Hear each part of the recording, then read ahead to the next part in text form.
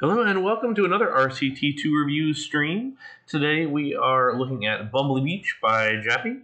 This is a gold winning park back uh, last year in early 2019. Uh, it is an inspiration of the uh, Bumbly Beach, uh, or inspired by the Bumbly Beach scenario uh, in the original Roller Coaster Tycoon game, which is definitely a classic scenario, one of my favorites of the time. Um, and kind of sets, they ask the question, what would that park look like if it was built in a more realistic setting uh, and expanded over the years kind of in a realistic fashion? Uh, and I think the end result is pretty cool. Um, you see a lot of seaside parks in RCT, but the nice thing is that there's such a variety of them in styles that you can do that you can make a bunch of these without being too too similar to other ones. I know earlier on the channel we reviewed Fred's uh, Park.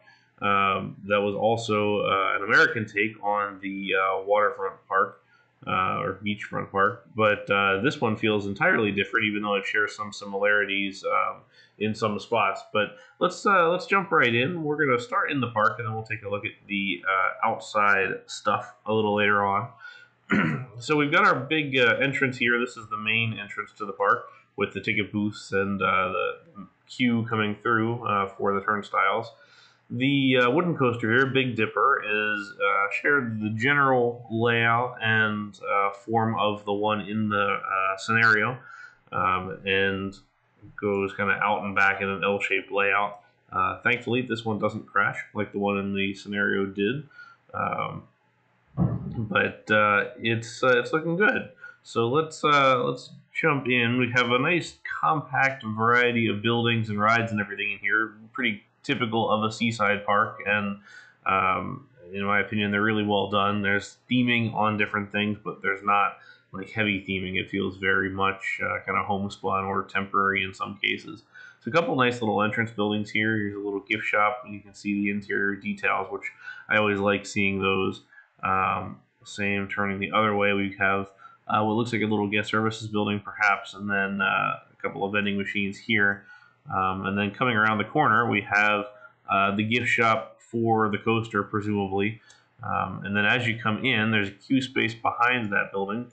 Nice little queue entrance here, a little height stick uh, as a detail there. I do like the raised queue coming across and then into the station. Station's pretty um, uh, pretty standard fare, but uh, got four little towers on the corners uh, a rectangular building, but that's appropriate for what this kind of a station uh, would be. Uh, we have a little drop in a pre-lift section here before. We'll wait on the blue train. Um, a lot of times the older wooden coasters, such as this kind of a ride, that would be tunneled. Uh, there's no real reason why it wouldn't be. Um, I think some of this is based off of uh, some of the coasters at Blackpool, for example, like uh, the traditional roller coaster there, which is also a 1920s variation. Uh, so here we go. Uh, dropped underneath the station as green train returns. Blue train is off to the races. I like the flags on the lift hill. I think that's a good little detail and gives some uh, additional motion to the, the overall park as a whole. All right, so let's enjoy this uh, as it cruises past that little billboard there. A couple of airtime hills, banked corner. You don't need necessarily need to bank that, but I think it looks fine if it is. Pretty fast turnaround. Dives underneath the single rail. Then we're going to hop over the entrance. And then just a series of airtime hills all right in a row. And then a flat corner here at the end. Um, great layout. I think it, it, works well being inspired by the real thing or the, the scenario, um, while also kind of taking some creative liberties to make the make the ride look good. Uh, being that that last corner is unbanked, I probably would have also unbanked this one and maybe this one. Uh, this 180 is taken at a pretty good speed, so it might be better that it's banked. Or, I mean, the opposite, this could just be banked to give that a little bit of um, uh, decrease of lateral G's there because it could be pretty pretty intense. All right, so back into the park itself, uh, we have our carousel here. Um, kind of a nice little, uh, just uncovered carousel. Um, I know the standard is to put some kind of a big structure over top of it, but I mean, the in-game carousel's got its own structure. I think it looks fine as it is. I like the little gardens around it, the little operator booth here with the little spire, um, and the the fact that it's kind of visible on this side and then kind of has the gardens padding it on the back side. It's a nice um, nice little arrangement as far as as uh, path work and site work goes. Um, we have our go karts here up underneath the uh, uh, underneath the coaster.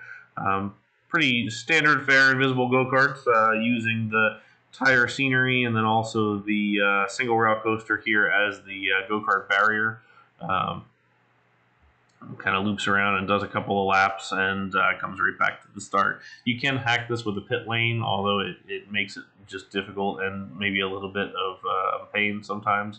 Uh, I do like this guy in the back of the gift shop here where there's a uh, uh, it says broken cart, and then we have our uh, little maintenance peeps and everything back here also. So nice details as well, thinking of both the front uh, guest facing things and also those back of house items.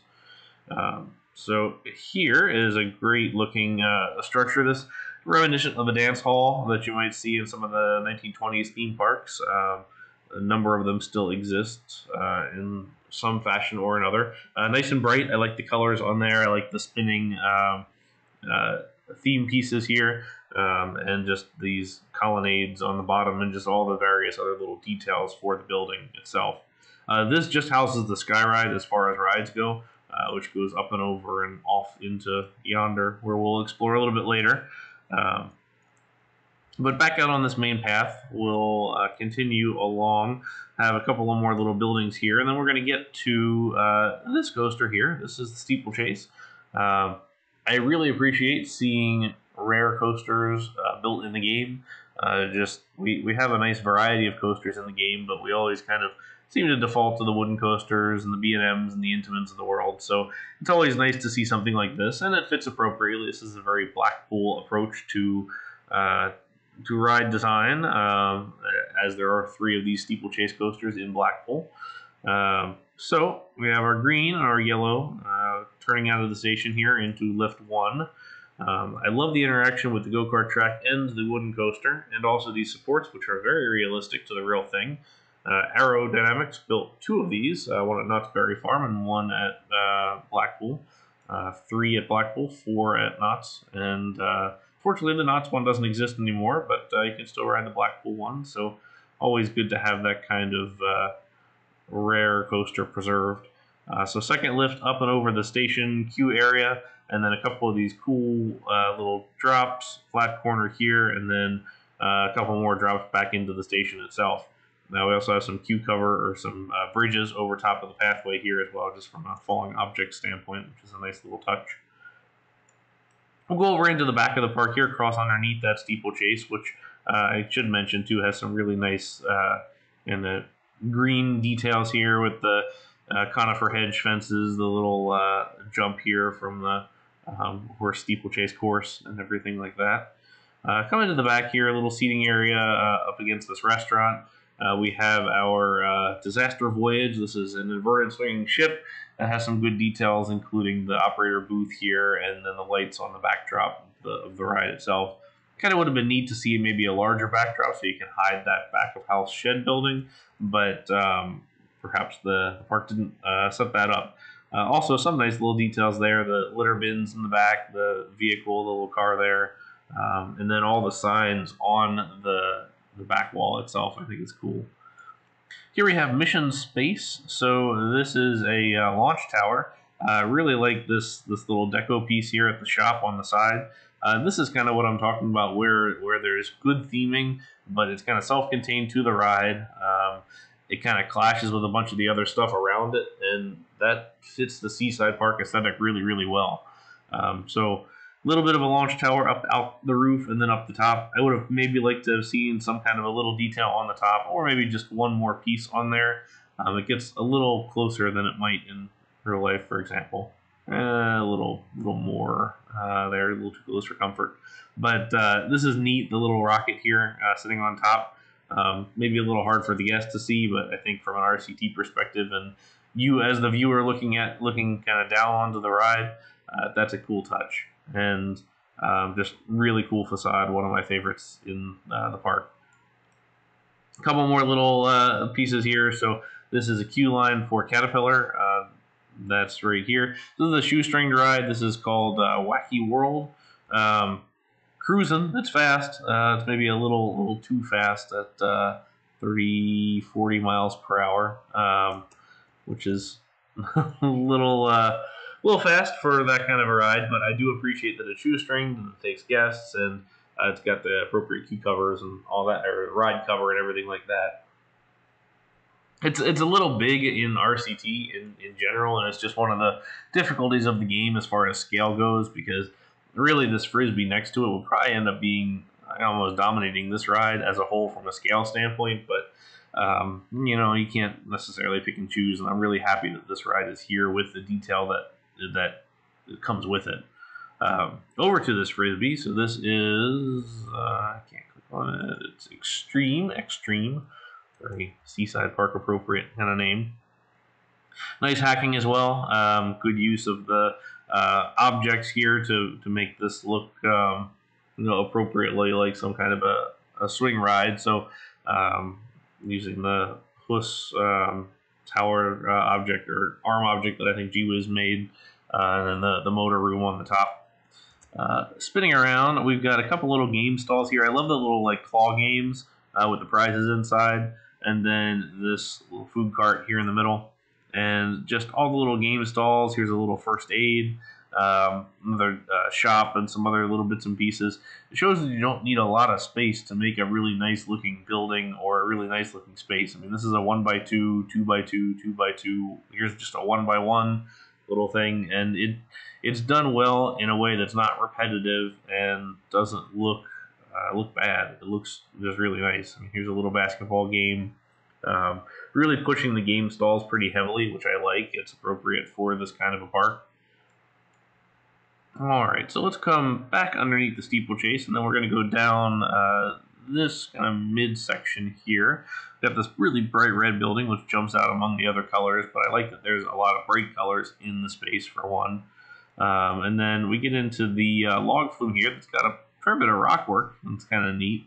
Uh, this rock work isn't necessarily something that you see uh, often, but it is done in some places, such as, as log flumes and things like this. Um, it kind of looks appropriately artificial, which I appreciate. Um, so the log flume is really crammed into uh, into the space. It really looks like it was working around existing stuff, uh, like this Enterprise ride right here um, that has a pretty snazzy queue cover with the, the flashing lights and everything. But out of the uh, the Rocky River station here, we go up the lift hill, turn the corner. There's a little bit of a drop right behind the uh, uh, here. There's really no containment for the splash, which I think is probably the one um, maybe complaint that I would have for it is that um, there's going to be some wet walls on that station that aren't going to last too long if, if, that's not watched out for. But um, little lift hill number two up to another little dip here, wrap around over the pathway, and then lift three, which goes over everything and down the big drop with the splash. I like these big supports here. Those are very nice and the way that it works over the buildings as well. Glass piece here to uh, shield these diners from getting soaked. Um, and I would imagine if you stand a little further down, you can maybe get splashed if you want. Uh, neat design here that there's a tunnel at the end. And then also the building here, the back of it has this cool western looking facade with the cacti and then just the clouds and the blue sky and everything. That's a really, really great touch and something that uh, I like here, especially with the detailing of all the various parts and pieces. So really, really well done. Um, I feel like a log flume is almost a necessity in one of these kind of parks, but uh, they're often sort of hard to do well, and I think this one is done well. Uh, here we have uh, another little, uh, well, actually not little, it's pretty big restaurant. This is maybe the biggest restaurant in the park uh, here with uh, the seating up on the roof, which is kind of a nice touch because you can look out over top of the rest of the park as you come around.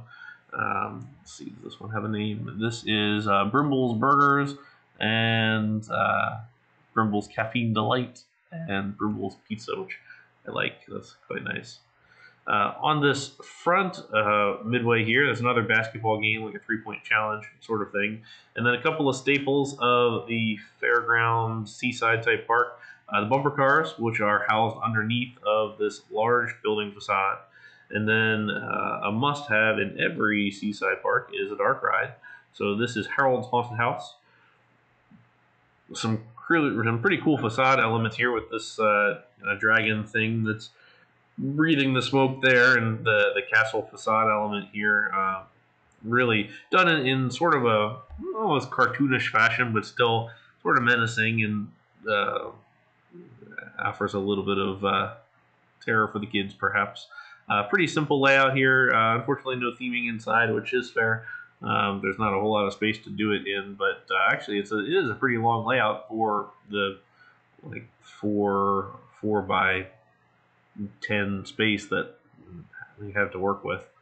Um, then the swing on this side, so this is the Bumbly Swinger. Uh, Skyride goes over top of it, which is kind of neat. Uh, here is the a pretty nice uh, pylon for those Skyride elements. Uh, we'll keep on going to the Scrambler here, which has a really great backdrop facade. Um, another operator booth. This kind of feels like it was pulled off of the fairground circuit and installed in here, which I appreciate. Looks good. Um, the curve on the Skyride is something that I haven't really seen on many Skyrides. I've, I've seen, you know, the, the full turn around and head back the other way, like a terminus for the ride, but I've rarely seen a turn on a sky ride that's up high, such as this. Usually they're down and disengage the cable before re-engaging it once again. So it's a little odd to me, but perhaps there's some uh, real life precedent there that I'm just not aware of. Um, but here's the other station, another little uh, uh, games area there, and uh, wraps around, connects to this back pathway here where you have the couple of games area here, and then this is the Madhouse, which uh, does not have a ride. It looks like, but I think the intention is that it might be like a either a uh, funhouse type area or like a Vekoma Madhouse that uh, has the spinning room of, of kind of sorts. Here is the Blue Poison, uh, which is a little frog hopper ride with uh, a pretty nice facade there as well uh, in the backdrop arcade in the back here, which is again a must in an arcade uh, or in a seaside type park. Uh, really checking off all those things that you ought to have in a place like this. Um, bring back to what I would imagine is the most recent coaster in the um, in the park. So this is uh, Tyran or Tyran. Um, has some pretty neat, like industrial looking theming. I really like this circle around the vertical lift hill. Uh, this is a Gerstlauer Eurofighter. Um, so Q underneath this area, a lot of cool theming elements, some rock work in the back here. Definitely a higher spend for this kind of a park, but uh, it works. Nice little uh, vertical lift here, up uh, cresting to a uh, what would be a non-vertical drop. Airtime hill with some of that detailing with the Heartline Twister. Come way around, wrapping the existing rides to a loop and then a uh, roll here, and then a dive into a uh, final helix here. This layout reminds me of Speed at Oakwood. Uh, it's a pretty sort of kind of similar layout with some custom elements in there. It would be cool to see block brakes and everything like that, um, but the spacing of the vehicles is such that it still feels kind of appropriately realistic uh, for what's going on here uh, uses the space very well above the existing stuff around other existing things. Things such as this are a little bit of a challenge, so there wouldn't be a footer on top of the building, for example. The column would go all the way down through the building, uh, kind of structurally separate, and then have a, uh, a footer down in the bottom, or it would be spanned with some kind of a clever support work. It might have been kind of neat to see that as far as like supporting goes over top of the building without touching it but uh, that also can become cluttered and a little bit messy if if that is uh, how all that goes. All right, so this is Galaxy Burger and uh, other items in this little shop here. We can presume that it was rethemed when this all came in and uh, was added um, uh, since it was clearly existing before this ride uh, Bolt came in. being a Schwarzkopf, that means this was a little bit of an earlier ride, so some of these elements are a little bit older than others. Uh, let's turn around here and watch the Schwarzkopf. Uh, we have our straight drop into a hill, nice curve, and come around, and then a couple of other airtime hills, and then we'll end with a number of helixes. Uh, you know, reasonably appropriate Schwarzkopf layout. Um, the hills and everything kind of are reminiscent of the wooden coaster. Would have been neat to see a loop on this one, but uh, that would make the loop on the uh, uh, the Gerstlauer here a little less special. I do like that the Helix wraps this uh, roto drop ride, the gyro drop uh, from Intamin, which um, kind of used in the standard colors uh, in the game with the red and the yellow, but they actually work pretty well. Um, I maybe would have liked to have seen a new custom custom top on this with some kind of appropriate filigree on top, perhaps. But Q line up underneath the coaster, which is, is quite nice. And then um, we have in here, so this is the Time Traveler's Assistant. So I'm assuming this is a uh, dark ride of sorts in here. I'm not quite sure what the ride is since it's invisible, but um, really cool theming again on this one. Uh, same with the um, Schwarzkopf coaster here also. As we wrap around, we can see there's a second entrance on uh, this side of the pier further down, which maybe makes sense a little bit more since the town is uh, clearly right here. Uh, so maybe over time the town has grown on this side and uh, maybe this entrance is now more of a primary than it used to be. Uh, there's a Ferris wheel right here looking over the beach, which is a good place for it, especially a Ferris wheel of this kind of a size. Um, back to the plaza with Galaxy Burger, we've got a couple of uh, little 2x2 flat rides, unfortunately not operating, but uh, nice to have those moving and, and running. Um, so here's the Cookie Bus um, little shop and a few other elements here, such as the games uh, on here. Just I, I, appreciate that all the games have little variations to them, so they're they're not they don't become too similar uh, throughout all the different areas. Um, they still feel kind of fresh in each one of the spaces. Uh, then last case, let's turn work back around again, and we can see the wild mouse. So this is a wooden wild mouse, of which there are only a couple left. Um, unfortunately, Blackpool Pleasure Beach demolished theirs uh, the other year. Uh, so the only places you can ride these now are Australia and Indonesia. Uh, so limited time, unfortunately, but uh, hopefully those remaining will stick around for a little bit. Uh, pretty nice uh, facade, similar to the Blackpool variety, where there was the structure and the the strip around the top with flashing lights. I do like that. Uh, up underneath of it. It almost feels a little too narrow um, and requires us to have the little jog here, but um, I do like the layout. It, has got that um, feel like the Blackpool Mouse did, where you have the oval with uh, a couple of switchbacks afterwards, and then a couple of the drops further in the structure afterwards.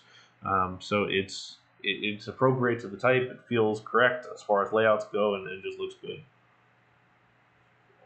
So that about wraps up into the park. There's just a lot of nice details to see. The colors work really well uh, together, despite being all over the place.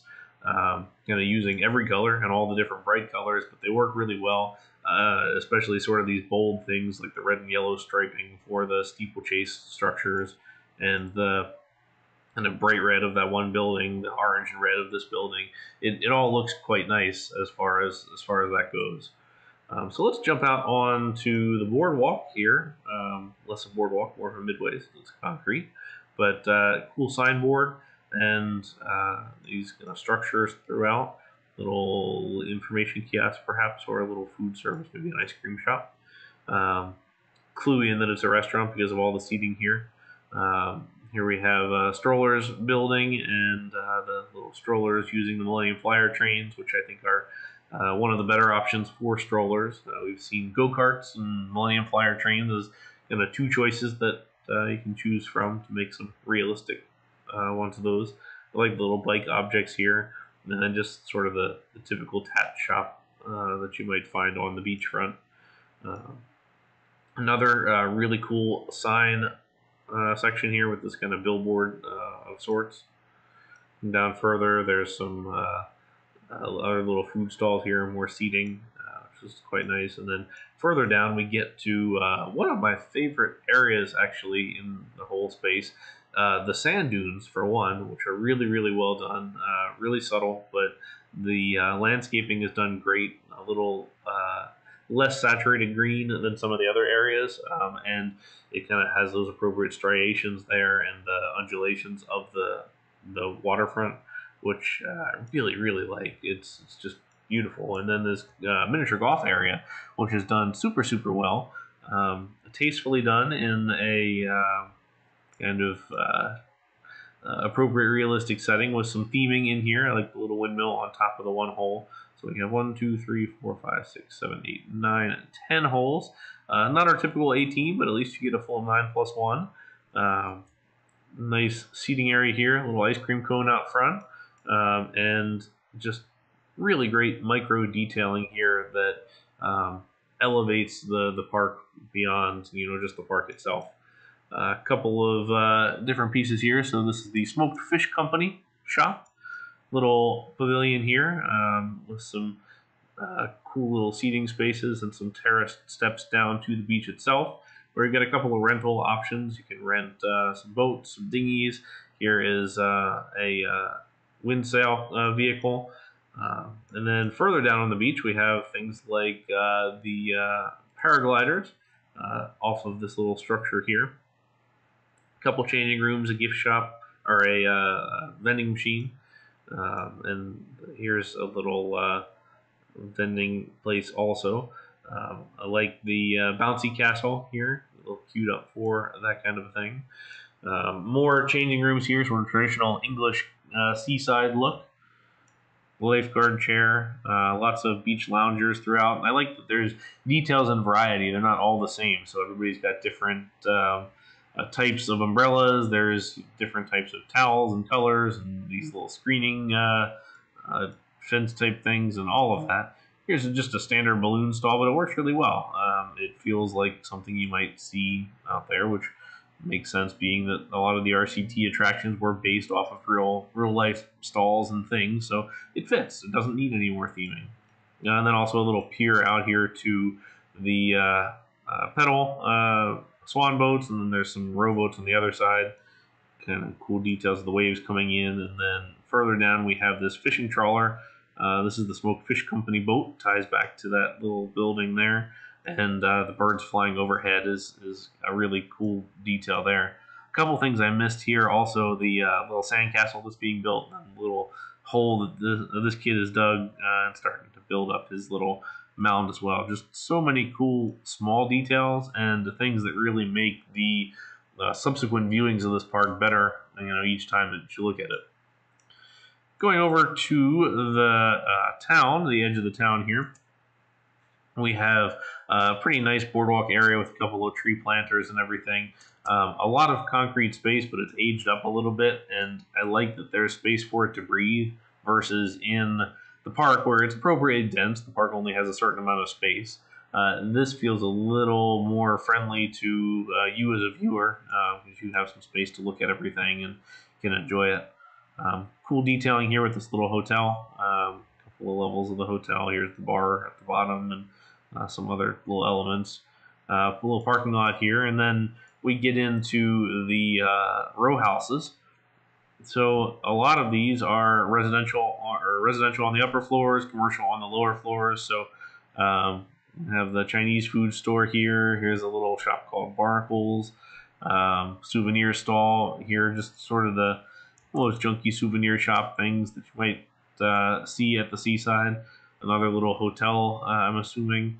And uh, what I like about these, as you get into some of these back here, which we'll look at, is the variety. So these are all the same essential architecture houses, but they have um, different colored doors, some different colored fences at the bottom. This one's getting renovated, so there's scaffolding all around it.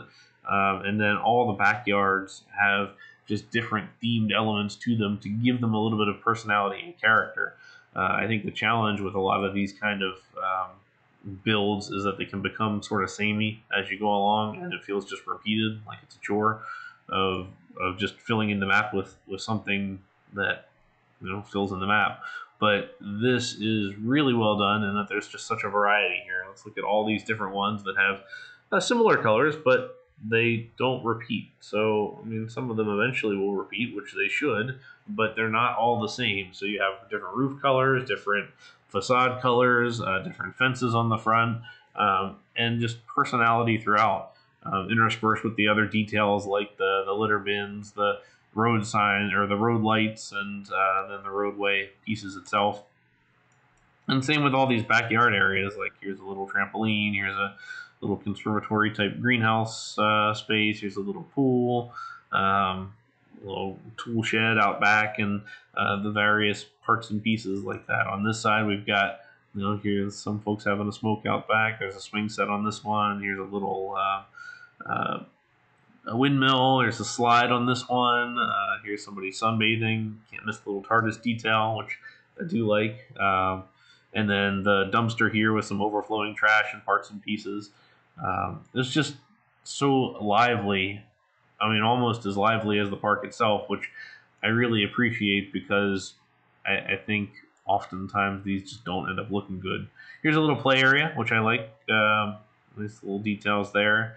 Um, kind of space to look longingly in at the park, which is kind of a little cruel to some children, I'm sure, uh, but not too bad. Here's a little Tesco uh, shop with a parking area, a little bit of trash. Um, looks like a covered uh, either place for your carts uh, there, and then on the back side here we have um, some graffiti and various parts and pieces like that. Here uh, on the back side of the park is a little um, storage uh, storage facility with a uh, little beat up uh, in some spots with all the graffiti on the front and some of the signage. But we have uh, another um, little restroom building here and a vending machine, just uh, lots, lots to look at. Here comes the train. This is the uh, British Railway, Railways train. Uh, nice big station here with, uh, again, appropriate detailing as we should. And I would expect this from Jappy as far as trains go to be very good and realistic. Uh, so this one's operating in shuttle mode, so we can at least have it uh, running here. Uh, really nice level crossing with the signal as well. Um, unfortunately, we can't have this properly operating, which would be a nice thing a thing to uh, long for eventually. And here's the British Rail symbol also. Um, I like the taxis with the little orange piece added to the standard SUV uh, element. Um, but I do like there's the traffic. It doesn't feel uh, too similar to what, um, or it doesn't feel like it's just repeating itself. I mean, it goes all the way down. There's a couple of different directions of travel here, and it doesn't feel like overkill um, or take away from the overall viewing in the park. Uh, on the backside here is Bumbly Sands. So this is a little uh, mobile home community, as we would say. Some little details here, like the security guard telling this guy not to barbecue. Um, and again, a really nice variety of buildings. I mean, these are all one by three structures, all sharing a similar look, similar window arrangement, and things like that. But each of them has a little different personality of its own, uh, from sunbathers to window boxes to uh, different colors and textures and all the different parts and pieces uh, alongside the little front uh, structure here also. Uh, it's just super, super well done as far as variety goes and um, the the detailing of the spaces without becoming too repetitive. Uh, and then we have our parking lot here. So that kind of wraps up our tour of the park uh, and the surroundings. Uh, there's a lot to see here, and I would encourage you to go take a download of this park and dig into it a little bit because there's a lot of details that I missed uh, too, or just uh, didn't talk about this time. Uh, lots to see, lots to look at, and I really enjoy that kind of a thing, giving me stuff to click on, to explore, telling a story. Um, it really elevates the RCT part from just a recreation of something to kind of a art storytelling art piece medium, uh, which is is very neat. So uh, well done to on that. And uh, with that, we will end this review. So thank you once again for watching. Uh, if you would like to see your uh, own park reviewed or you have another park you'd like to see, please send me a note at nedesigns.com. Uh, Cedar Point 6 is my username. Or leave a note in the YouTube comments. Um, and we will get to them. Um, so until next time, thank you very much for watching, and I hope you enjoyed the review. go check out uh, Bumbly Beach by Jappy on New Element. You can find the link in the description. Thank you very much.